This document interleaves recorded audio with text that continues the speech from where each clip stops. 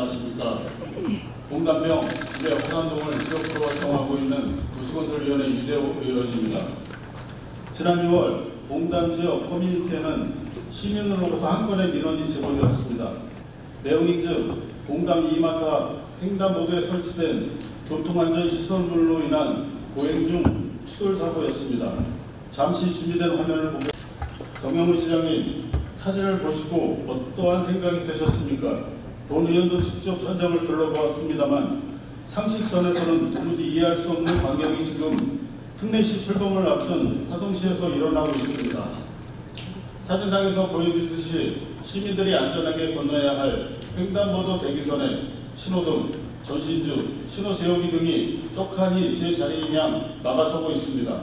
더욱이 신호등 아래 설치된 교통 단속용 무인 장치는 일반적인 사람의 키높이보다도 낮은 위치에 설치되어 횡단보도를 이용하는 시민들의 통행을 방해하는 것은 물론 어떠한 주의 표시와 안전보호 장비 없이 노출되어 시민들의 안전 보행을 위협하고 있습니다.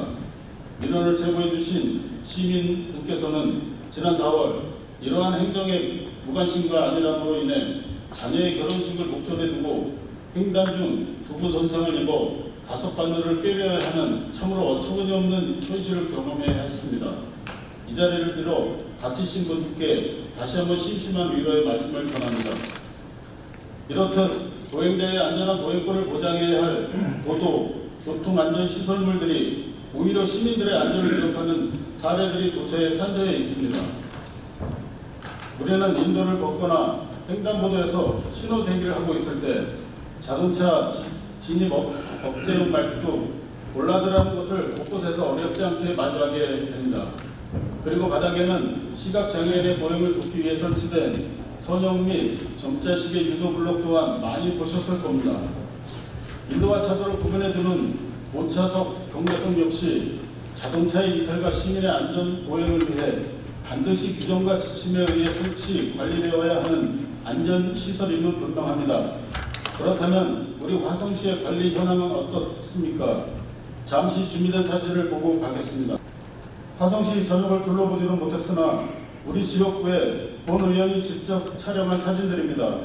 시각장애인들이 위험을 미리 감지할 수 있도록 위험 시설로부터 0.3m 전면에 설치되어야 할 볼라드는 점자 블록 위에 우뚝 올라서 있고 민원이 발생했던 현장에서처럼 횡단보도 대기선과 인도는 각종 시설물과 가로수들이 점령하고 있습니다.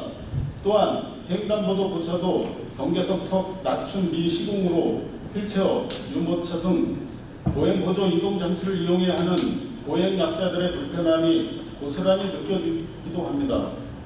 보도는 보행자의 공간이자 보행자의 권리입니다. 누구나 안전하고 걷기 편한 도시의 조성은 시대적 사명입니다.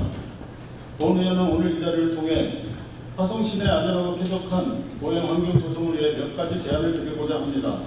먼저 시민의 안전하고 쾌적한 보행 환경 구축을 위한 종합 계획의 수립과 시민의 목소리를 적극 반영할 수 있는 내실이 있는 위원회 운영을 촉구드립니다.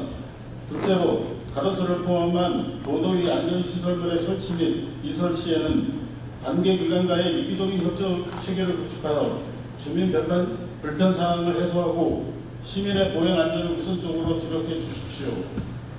마지막으로 상위 법령 및 관련 지침 규정 등에 기반한 보행 교통 안전 시설물의 유지 관리 방안을 강구하여 화성시 지역 특성을 고려한 차별화된 맞춤형 보행 안전 정책을 실현시켜 주시기를 적극 당부드립니다.